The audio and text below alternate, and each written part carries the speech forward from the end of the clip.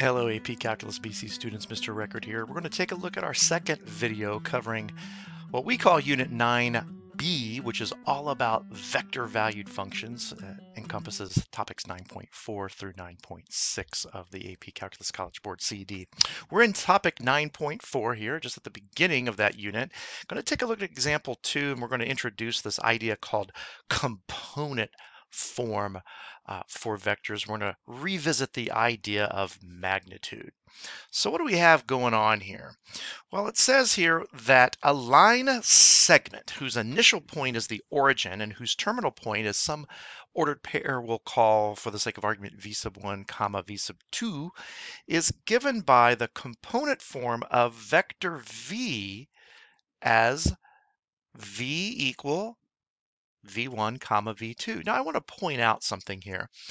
It's it's not altogether incorrect, and I've seen this many times where notation will be used that depicts a vector. And if you watched video example one, we talked about how the boldface lowercase letter means a vector. But it's not, in my opinion, the best practice to use parentheses around this pairing of V sub 1 and V sub 2. And you're going to notice that I'm going to do a little bit of something different as we move through these videos.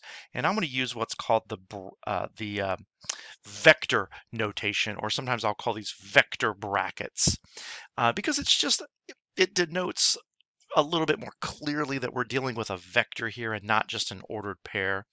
And it's just, I think, in my opinion, a bit a, a better, safer practice.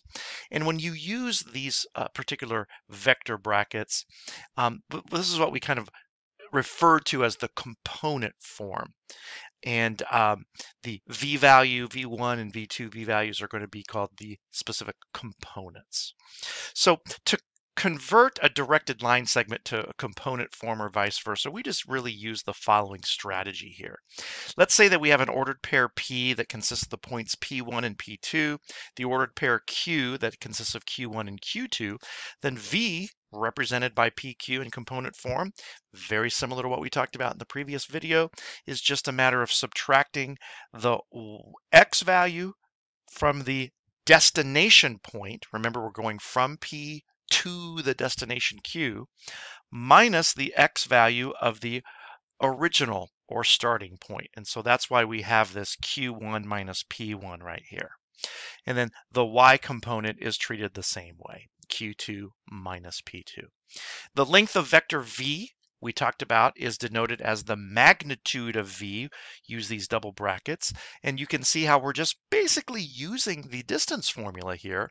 But what's cool about this with vectors is that you've already done the subtraction of the x values to get that q1 minus p1 component. And so you just simply need to square that number that's residing into that position. And that's what's going to go in this spot. And likewise, Q2 minus P2 is going to go into the second spot. Remember, you're going to square those, add them, and then take the square root. Again, that's what we call the magnitude of V.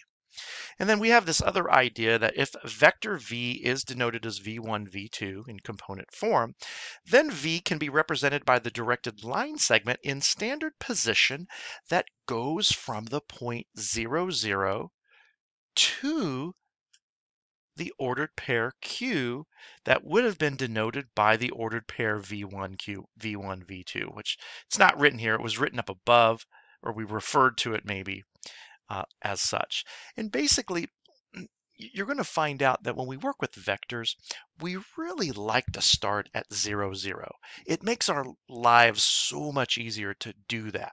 A lot of times you're going to have two points, a P and a Q, that start in very strange locations. Uh, the P is not going to be at the origin and maybe Q is somewhere up here.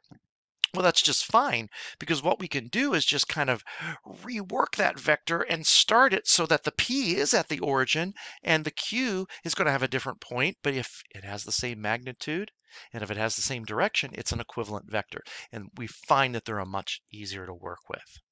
So let's take a look at our example. Find the component form of the length of the vector v that has the initial point 4, negative 6 and the terminal point uh, negative 1, 2.